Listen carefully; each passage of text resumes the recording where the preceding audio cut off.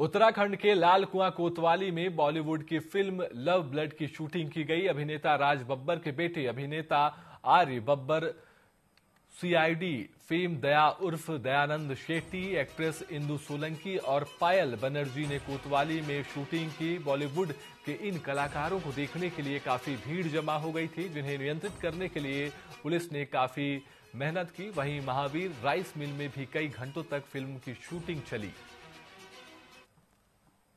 उसकी अनुभूति होती है। आप जब देवभूमि में उतरते हैं, यहाँ पे मेरे अंदर से ये ये पूरा भूमि गाड़ियों के लिए नहीं बना है। यहाँ पे लोग पैदल ही चले तो अच्छा है। जिस तरह से यहाँ का टेरेन है डेमोग्राफी जो है, आप देखते हो कहीं भी पहाड़ पे, ये सब पेडिस्टेंस के लिए बने हैं। मोटर्स के लिए नहीं है।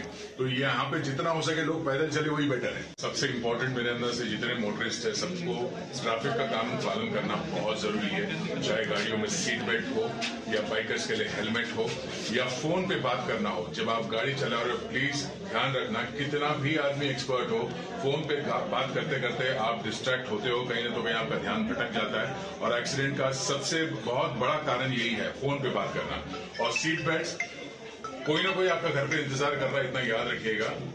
वो सेफ्टी आप अपने रखिए, भले किसी और को और की जान को तो हानि पहुंचाते ही हैं। अपने घर पे भी कोई आपका इंतज़ार कर रहा है, इतना याद रखिएगा, आपको सेफली घर पहुँचना है।